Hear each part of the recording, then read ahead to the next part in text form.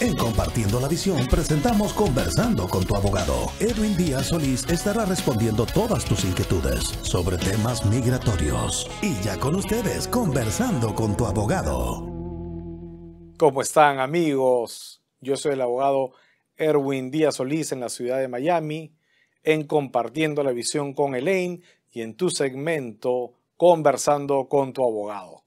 El día de hoy tenemos un invitado especial el abogado, el licenciado Alessandro Díaz. ¿Cómo estás, Alessandro? Muy bien, hola a todos. Es un placer estar hoy en día en este maravilloso programa. Bienvenido, bienvenido, Alessandro. Para los que no lo conocen, Alessandro es hijo mío, es abogado graduado de la Universidad de la Escuela de Leyes de la Universidad de Miami y está trabajando con nosotros en la oficina. Él es abogado aquí en la Florida pero representamos a clientes a nivel nacional. Alessandro, hoy día lo hemos invitado porque vamos a conversar un poco sobre qué sucede con los asilos si es que te dicen no. Así que vamos a comenzar, Alessandro, si te parece, con los asilos afirmativos.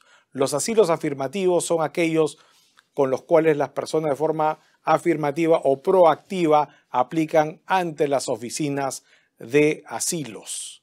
Si esas personas están todavía legales, legal por ejemplo con una visa de turismo, legal por ejemplo con una visa F1 de estudiante o legal porque han tenido un TPS como los venezolanos que son beneficiarios del TPS y están legales. Alessandro, ¿qué sucede con estas personas? Van a su entrevista de asilo, y después de la entrevista les, van, les llega un documento que le dicen no al asilo. ¿Qué sucede en estos casos? Bueno, en esos casos, en la oficina de asilo, el oficial mismo te va a mandar lo que se llama un Notice of Intent to Deny, que en español se dice... Notificación de intento de negación. Y esa carta, esa letra, te va a explicar las razones por cuál la oficina de asilo, el oficial, está negando tu caso.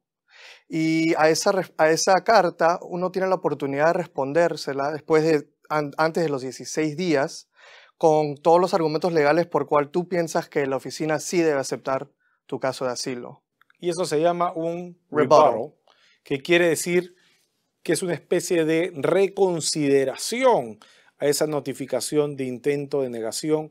Y es importante que te asesores bien con un profesional o un abogado que pueda hacer los argumentos legales suficientes para poder responder.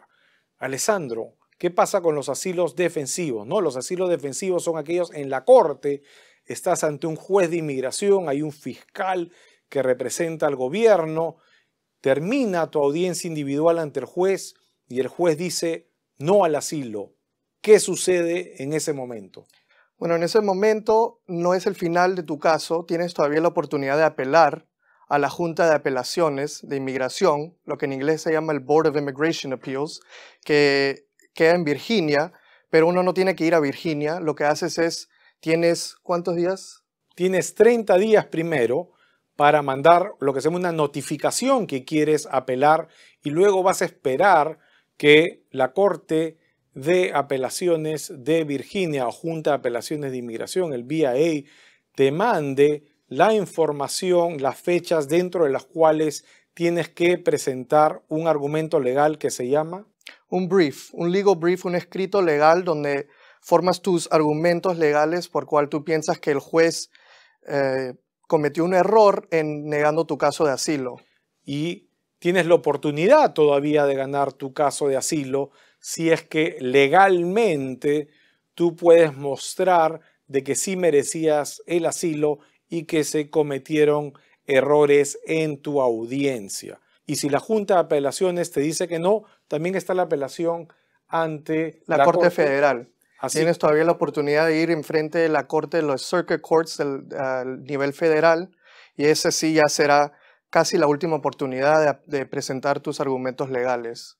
Así que amigos, amigas, no se olviden, estate bien asesorado si eso es tu caso y te agradecemos y agradecemos la presencia del doctor Díaz el día de hoy con nosotros y nos vemos la próxima semana en Compartiendo la Visión con Elaine y tu segmento Conversando con tu abogado. Gracias.